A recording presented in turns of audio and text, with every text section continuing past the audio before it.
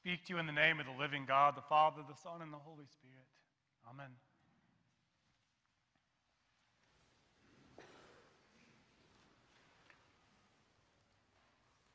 I was in middle school when I heard that the only two certainties in life are death and taxes.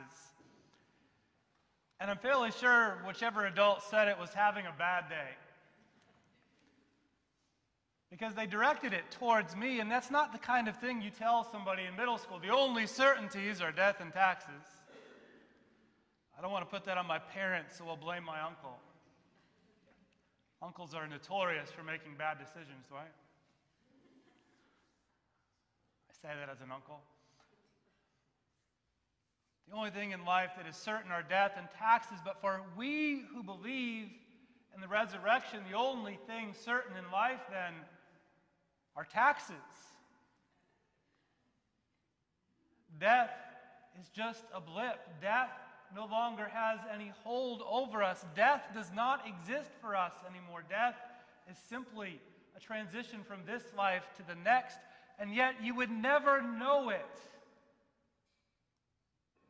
Looking at cemeteries that belong to churches and columbariums and the huge pay to headstones and what it says on the headstone and where people want to be buried. Don't bury me next to Joe. We'll be fighting forever. No, you won't. You're all are dead. And I've had people want to change their columbarium niche, and they said, Well, I was married to, to Samuel, but now I'm married to Maury, and, and really I think I should be with Maury. Ma'am, neither one of those men care.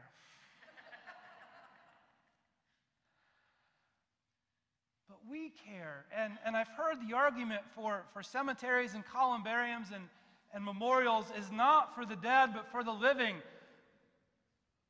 But it is so much easier for me to look at pictures of my grandparents on the wall or for me to see a shirt that my grandmother gave me or a book and to think my Grammy gave me that, my grandma gave me that, my grandpa gave me that. Then for me to travel all the way to Indiana and find their headstones. Why do we pay so much attention to the dead? If we believe in the resurrection. Ezekiel sees the valley of dry bones, and God says to Ezekiel, These, only lack flesh and breath, and they will become whole once again. Jesus calls Lazarus from the tomb, and Lazarus is alive. After four days being dead, Lazarus rises from the tomb. In the ancient world, the rabbis said that if somebody was dead for more than three days, they were gone. It is very intentional that he was dead for four days. There was no coming back. And yet Lazarus rises from the dead and he comes back. We are a people of the resurrection, a people of hope. In the spring of 2012, I ran the Warrior Dash. If you're not familiar with the Warrior Dash, it is a 5K run with lots of obstacles. There are walls to climb and ropes to climb and burning things to jump over. And I trained for it, and I ran, and I did upper body training, and, and I, you were, we were encouraged to wear costumes. And this was before I had any children. And so I had hair. And so I, I, I, took all kinds of product and I spiked my hair up and I painted half my face blue and, and I went to the Goodwill and I got a plaid skirt and I was a Highlander. I was Scottish. I'm not actually Scottish, I'm Welsh. I don't know what the Welsh do when they get all fancied up though, so I was Scottish. I had these pictures made of, me making the ferocious face beforehand, and I was wearing a, a white t shirt. And the whole race was going well. I climbed up the ropes and the walls, and I jumped over the burning things. I got towards the very end, and there was a, a big ditch of water. It was too small to be a pond, about 10 yards across. And we had to jump in the water and climb over a log and get to the other side. And it was cold. It was April, but it was cold. And part of me was like, I'm done. I'm done.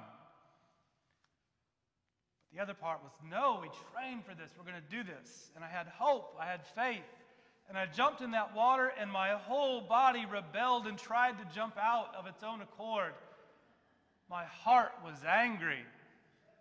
What are you doing to me? And I swam over to the other side. And I get out, and to add insult to injury, the very last part of the race, we had to crawl through mud under barbed wire. And so I get out, and my white shirt is all saggy and brown, and my makeup is run and I pose for a picture, and I'm no longer fierce. I'm just like, ah, I made it.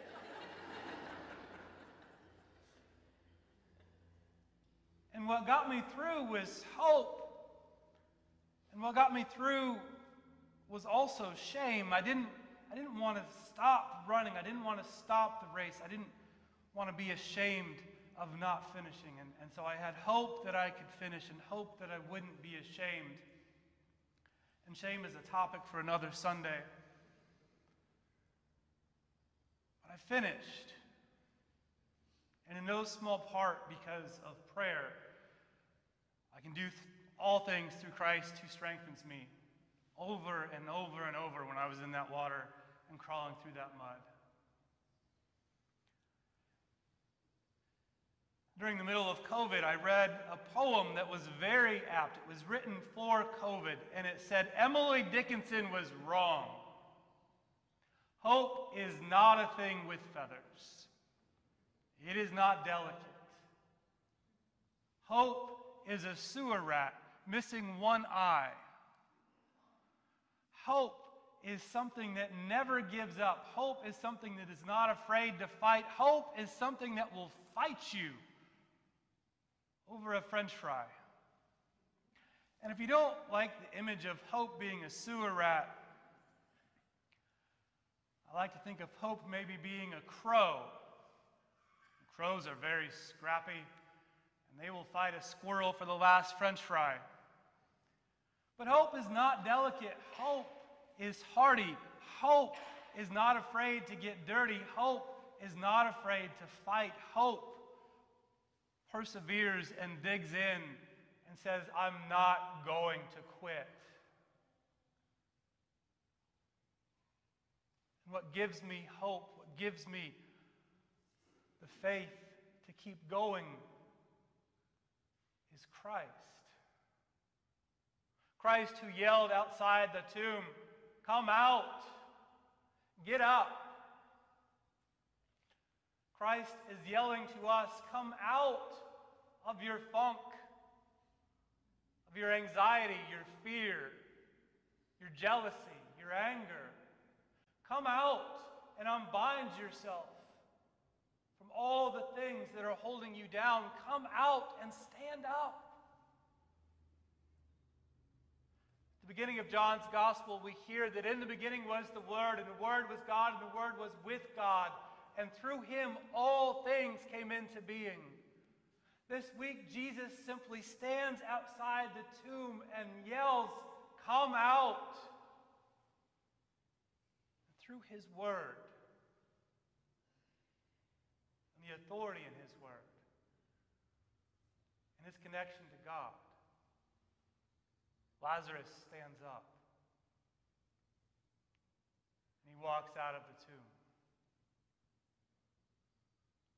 There are so many things for which to despair in this world, so many reasons not to hope. But again and again, I tell you, the reason to hope always outweigh the reasons not to. Jesus is calling us through his word, his love, his grace.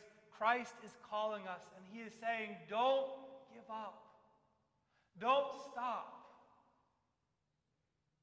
Keep going. Though the water is cold, keep going. Though the nights are long, keep going. Though the grief seems never ending, keep going. We are people of the resurrection, people of hope, people of faith, people of love.